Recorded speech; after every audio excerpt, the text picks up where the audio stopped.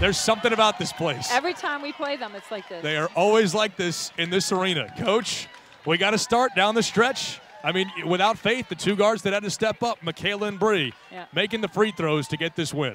Yeah, you know, we didn't play our best basketball, but coming down the stretch, I felt, like the last four minutes, we were, I mean, this one over here was just trying to get us any bucket she could. And then I think Bree settled down and really attacked the rim and was really poised at the free throw line. I thought we rebounded finally at the very end here the way we needed to, and we, we defended well down the stretch. So um, it's always a battle when you come down here. That's the thing. I mean, it, it's a 40 minute game, and, and for a lot of it, a lot of sloppiness for both teams. But in the end, the final couple of minutes, that's when it mattered most. You kept it close the whole game and found a way to pull it out. We couldn't score. Yeah. I mean, we couldn't score, but again, it went back to, you know, their end of the floor. I thought it, it really important, crucial posse- possessions we really defended, and we came down in those last couple of possessions that Mikayla took over and got to the free throw line, and um, and then Bree just being poised at the free throw line. I think that made a huge difference. Coach, uh, you go to the last three minutes of the quarter, you haven't scored, and then you get 10 points those last quarter, and you're like, your guards just took over, made some great plays, and just got to the foul line. Yeah, yeah. I mean, that's what it was about. At that at that point, um, I thought we were just rattled. Like we weren't comfortable shooting the ball, and we we were just very um, tentative. And anytime in a zone, if you're not really just playing loose and attacking and kicking, I just I don't know why. And then um, again, it came down to a couple possessions. Well, coach, in, in all honesty, the flow of the game, one never really developed for either team. 25 fouls in the first half and a, a combined 46 at the end of the game. Really, there, there wasn't much of a flow, so you kind of didn't really have a choice but to figure it out at the end of the game. But I guess it, it- we could talk about the first half a little bit, just what was going on really for both teams that neither side really looked comfortable. I, you know, I don't know what it is for them, but for us, I just think, um, you know, you know what bring, Faith brings to the table, and just I think we got hurt defensively, you know, and we got in a lot of foul trouble.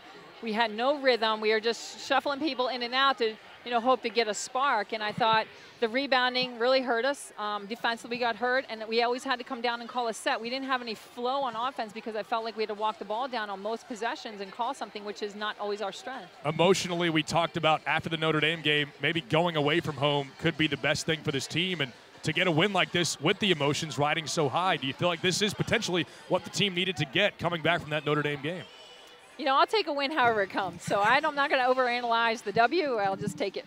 Coach, certainly uh, you you went with Bree up at the at the point, and you were trying to run Venson and other players off there. Was that a was that a, just a decision that you felt like that Venson was a good enough player using the screens to get her attacking the basket from the wings? Yeah, I didn't want to, you know, we were turning the ball over against the zone, so I didn't want to be passing around without Mikayla getting a look. And so we just kind of shallow cut her and kind of tried to give like a surprise ball screen and then her either let her take that shot or what I thought she did a really good job is just attacking inside. You know, and down the stretch, it got really physical, and I I was like, they're going to have to call whatever. If there's a touch foul, they're going to call it. So she was really smart, kind of put herself in a situation to get fouled, and obviously made, made her free throws. Last thing for you, and yeah, we, it feels bad not letting you enjoy this one as, as wild as it was down the stretch, but got to go home to face a very good Louisville team. And it's one of those games we've talked about. The teams we're getting at home this year. It seems like one of those games very important when Yeah. you start to look at the, the entirety of the ACC schedule. Yeah, when you talk about building your resume and you got Louisville at home, you know what better way to to uh, uh, build that resume than to take care of business at home against a team like that. Well, Coach, thanks for the time. Congratulations. Thank you. You seem to shine your brightest when the opposition comes from Wake Forest. Yes, uh, they're a great team, uh, gritty team. Get a lot of get on the boards very well, aggressive, and we just came at them at the end.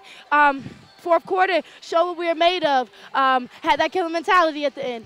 The last two two and a half minutes or so that's exactly what it was because the fourth quarter i think it was the first it took what six and a half minutes to get the first field goal Yes. I mean it the fourth quarter it seemed everything out of sorts what changed the final two and a half minutes Like I said, our mentality, we got big boards at the end, big stops, um, created fouls, got to the rim, um, and just attacked them. And, and I said, I told them we do this every day in practice. It's nothing different. So we just went at them. That's it. Biggest thing you felt on the floor without faith randolph today? Because obviously a player that impacts both ends of the floor and so the first game having to figure it out Where did you sense it most, maybe? Uh, scoring definitely and that defensive intensity. Uh, Faith is a great player on offense and defense and brings a lot of energy to us. And she brought some great energy all on the bench today, and so did our other players. And um, we just played with pride today. It seemed like you got into a little bit of rhythm on the defensive end, right near midcourt when yes. y'all went into that half court, sort of full court trap. Mm-hmm. You got a couple steals, and then there was the play where we thought it might be an intentional foul. Ends up they say you're in the active shooting, you yes. hit your foul shots. Definitely. Um, I saw that I had the opportunity to go steal it, so I was like, why not? And came down and um, knew that I, could take her and tried to create a foul. But um, I think our intensity picked up definitely on defense in the last three to four minutes. Um, I think we did a great job. Um, we attacked them, like I said, and defensively we just stopped them definitely. Very simply, how would you describe your emotions right now?